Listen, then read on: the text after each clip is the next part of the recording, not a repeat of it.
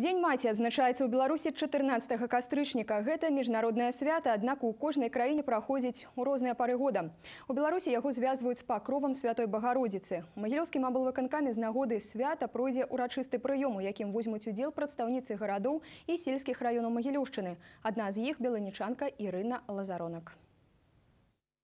Я работающая мама, работаю здесь уже довольно-таки давно. Ну, мне работа нравится.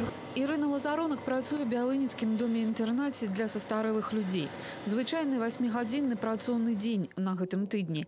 Але дома Ірыну чакаюць хатнія клопаты, і яна маці трох дзяўчынак. Современная мама, считаю, должна быть за рулем. Потому что машина, она уже как бы не роскошь для современной мамы, а средство передвижения. На аўтамабілі ад дома да працы літаральна 5 хвілін, і наша размова пра тое, у чым шчасце сучаснай маці. Ну, вы знаете, что маме нужно? Чтобы дети здоровенькие были, хорошенькие. Вот. В основном, ну, семья крепкая. Моцная сям'я чакае Ірыну дома. Ну, привет. Яна, Таня і Даша. Старэйшы 16 гадоў, малодшы 7.